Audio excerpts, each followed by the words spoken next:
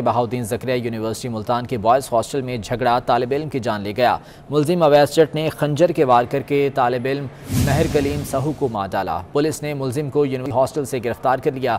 24 news ने वाक़े की सीसीटीवी फुटेज हासिल कर ली है। इसी बारे में मजीद जान लेते हैं। यासिर मजीद हमारे साथ मौजूद हैं। यासिर बताएगा ये तमाम तर क्या वाक़ है? जी, अफसोसनाक वाक़ बहाउद्दीन जकरिया यूनिवर्सिटी के उमर हाल की कैंटीन पर पेश है। कलीमुल्ला और उसके दो साथी कैंटीन पर मौजूद थे। इस दौरान मुलजिम अवैस ने अपने साथी के हमरा उन पर हमला किया है। खंजर और डंडे से उठो के वार किए, जिससे कलीमुल्ला जो है वो मौके पर उसकी डेथ होगी जबकि तीन अफराद जो है वो जख्मी हुए, जिनको निश्चल अस्पताल मुंतकिल किया गया।